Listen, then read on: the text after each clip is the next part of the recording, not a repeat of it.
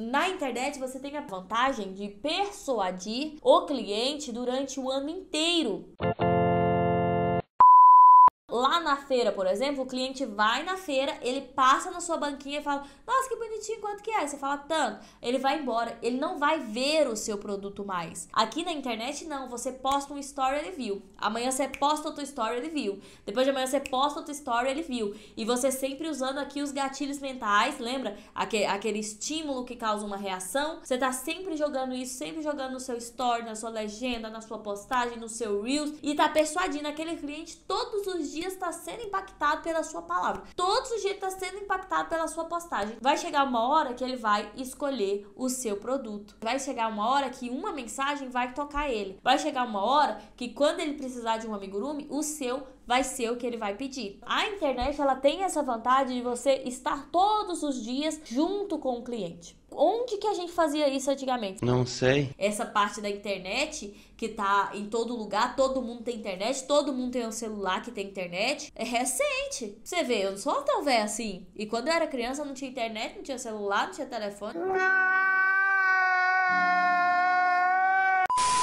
Antigamente, há 5 anos atrás, há 10 anos atrás, quem que persuadia a pessoa todos os dias? Vocês sabem? Propaganda de televisão ou propaganda de rádio também. Claro que a rádio era um pouquinho mais barato, televisão era mais caro. Então, quando você tinha muito dinheiro e uma loja muito grande, você anunciava na televisão. Mas, ó, o dinheiro que você tinha que pagar era um absurdo. Nenhum pequeno produtor, nenhum artesão anunciava na televisão. E como que funciona a televisão? Vamos falar de, de televisão aberta. Você tá passando a novela. Você não tá pagando nada por aquela novela. As propagandas paga pra novela aparecer. Por quê? Porque tem que estar tá ali entretendo você tem que ter um motivo para você estar tá olhando para aquela televisão. Se a televisão fosse só de Omo, Veja, Margarina, só propaganda, propaganda, propaganda, quem que ia ligar a televisão para assistir? Ninguém. Então a televisão teve essa sacada. Vamos colocar conteúdo, vamos colocar entretenimento aqui dentro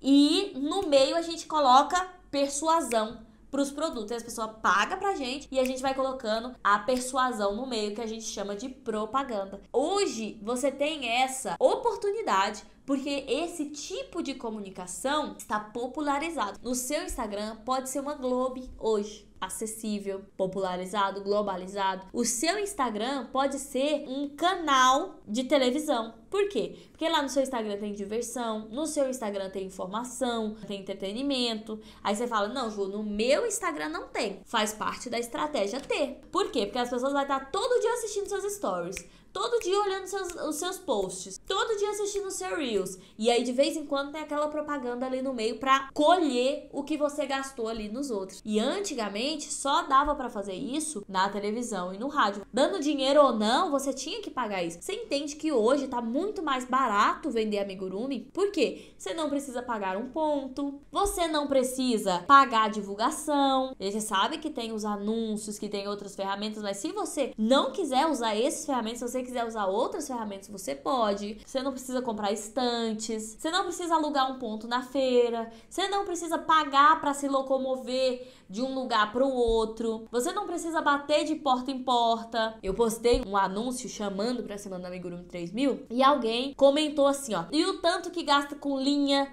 com energia, com Dorflex, material, com enchimento. Eu fiquei sem entender. Porque antigamente, gente, você ganha, gastava a mesma coisa. Só que além disso, você ainda tinha que alugar um ponto. Além disso, você ainda tinha que ir pra feira. Além disso, você ainda tinha que ir de casa em casa. Agora você faz tudo isso em casa. E aí, outra coisa que eu fiz também, que eu falei assim: o que, que você acha de estar em casa e cuidar dos seus filhos em casa enquanto você faz seu amigurumi? Aí a pessoa falou assim: é, mas e se ela não fala? Vai ter que lavar louça, vai ter que ficar olhando menino, vai ter que ficar trocando fralda. Meu Deus do céu, de qualquer jeito você não ia ter que trocar. A diferença é que agora você vai trocar a fralda e lavar a louça e mesmo assim ganhar 3 mil reais, como várias alunas já conseguiram, que foi o caso da Gisele. Tem três filhos e o primeiro não tem nem um ano ainda, o mais novo. E mesmo assim, ela faturou 1.600 dólares, que é quase equivalente a quase 9 mil reais aqui no Brasil. É uma mentalidade de quem não quer tentar e tá dando uma desculpa. Não tem como você discutir que dá. Ah, eu acho que não dá para ganhar 3 mil. Não, como que você vai discutir isso?